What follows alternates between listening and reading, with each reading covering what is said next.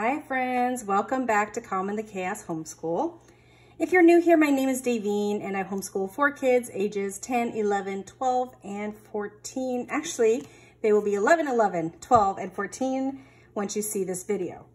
So today I'm going to be giving you a look at Sonlight, G, geology, physics, and origins, and the things that go along with it.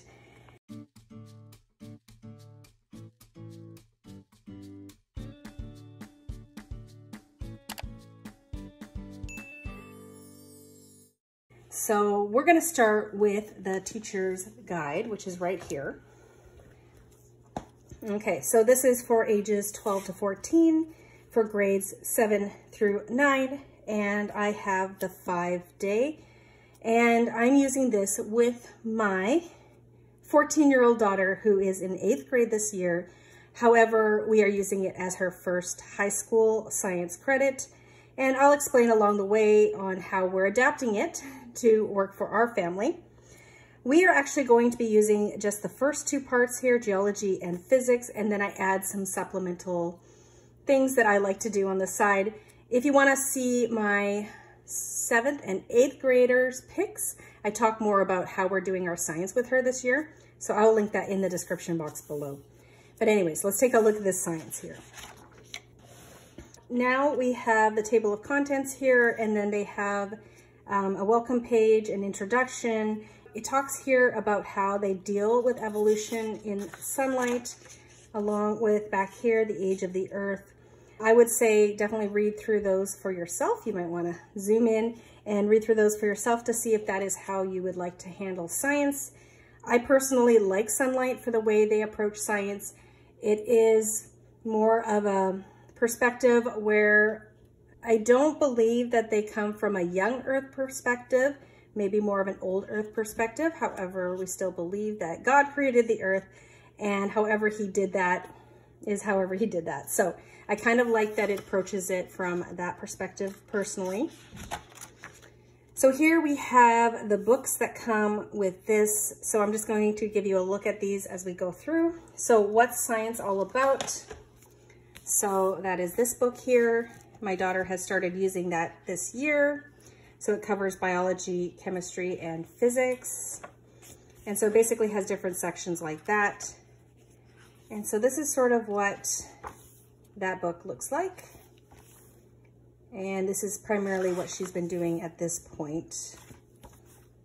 And it does skip around, Sonlight skips around, they pick certain sections. They don't read the whole book. They have questions they have to answer from their assigned readings. All right, so we have that book there. And then we have TOPS. Okay, so I really could not find this one right now. 13. Oh, it's the one we're using right now. So I'm not sure where it is, but I do have this one. So it has 13 and 10. So this is the one, this is 10 analysis. We're not using this one at the moment, but this is basically the experiments book and it has like experiment cards at the end here that kind of tell you how to do the experiments. So what I did with the 13 that we're using right now, I basically went through the back there and I photocopied the task sheets and I laminated them so that I could use this again in the future with other kids. And so when she does an experiment, she gets one of these cards and it does have more explanation than that in the book. So that's what I did with these cards just for her experiment days. It's so weird that when you're looking for something, you know you have it, and it was all together. Everything was together, except for the one that I'm looking for there. All right, and then we have Usborne, Internet-Linked Encyclopedia of Planet Earth. So that is this one. And a very typical Usborne style. That's what that looks like. Very beautiful. All right, and then we have evolution, the grand experiment. So this is the part we're probably not doing this year. So it does cover evolution and a biblical view of where evolution does fall short. So this one is one that I might do together with my whole, like all my kids, I'm thinking. I don't plan on tackling this, this part of it this year. So there's that. And we also have Icons of Evolution DVD. So I'm looking forward to watching that with my kids. So those are the books that come with this guide.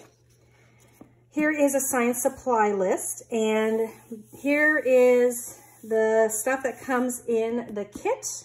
All right, in a second here, I'm gonna cut into where I show a clip of me unboxing the science kit. You can buy it or not. You can choose to just get your own things as well, but it's very handy to have the science kit. And then this tells you what weeks it is used in. And then they will tell you each week if you need to get your own thing. So here we are. Right, so I apologize for the noise. The window's open. It's really hot around here, but here is the science kit. And I will say, I have not looked inside of it at all, so this will be sort of an unboxing for us here. Okay, so we have the science supply kit. So it tells us everything that is in the kit and some emergency first aid procedures. And there you go. We have cornstarch and sand and lime. We have Alka-Seltzer tablet and aspirin. Some of these clothespin paper clips. Glycerin, lab grade, little dropper, iodine pov, I don't know, I'm not, I'm not a sciencey person, I don't know how to read that, so it it's just, let's see, more of those eyedropper things. Okay, so some more droppers and not sure what this is. Oh, some glass slides. And it looks like some masking tape there and some cups and a candle. Little cups. Hmm, what else? Oh, there's stuff hiding down here. Litmus paper, an index card. Oh my goodness. Trying not to disturb this whole thing. Okay, some round paper here and yeah, some foil. And oh, there's more. So I will say I have never done a Sonlight science before. This will be our first time, so it'll be interesting to see how things go. Okay, not sure what that is. Grid paper and looks like something to show us how to do, how to do something. All right, so some instructions and microscope, little tubey thing. Okay, so that's what is in the science kit. I'll put that together in a minute here. But so here we are starting at the grid. And so it's a five day week. And so what she would do is read what's science all about. So let's just take a look at what a day would look like here. So reading pages 94 to 101. Okay, so we have 95 is just this, 94. So it's really not that much. And that's just a table of contents. So we're going from here to 101 basically. So one, two, three, four, four page spread. And then she'd be answering questions one to three. So that the activity pages are back here. So here are questions one, two, three. Very helpful. They have the page numbers there so they can help to find their answers. And then this is just telling me to look at the list below. So it's basically four days of reading with questions to answer and one day experiment. And then there's an additional do together experiment there.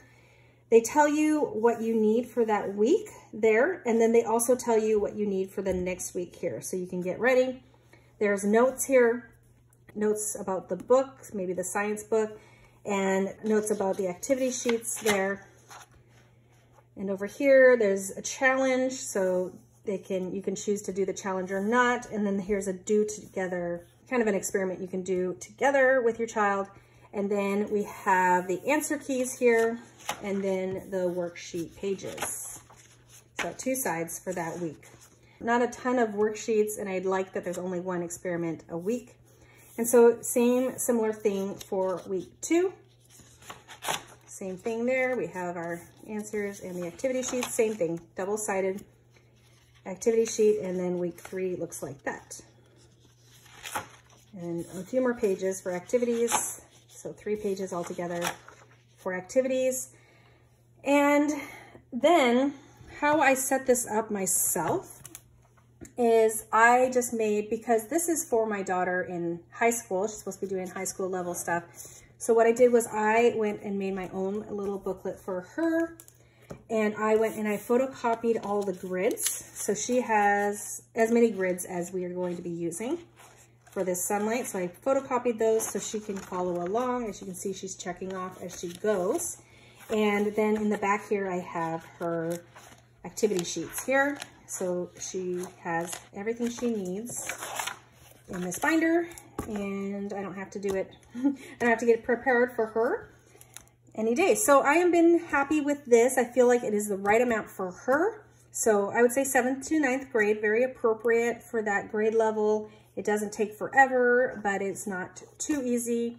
And like I said, we are using this in conjunction with some other things that I've provided. So we're only doing about half to two thirds this, and then we're doing something else that I planned. So like I said, I will link that in the description box below if you want to see sort of how we're doing science this year with her. And yeah, so that is everything for Sonlight G. I hope that was helpful. If you have any questions that I can answer for you, feel free to comment below and I will try to get back and answer those questions. Thanks for coming, everybody, and I hope to see you in my next video. Bye, everyone.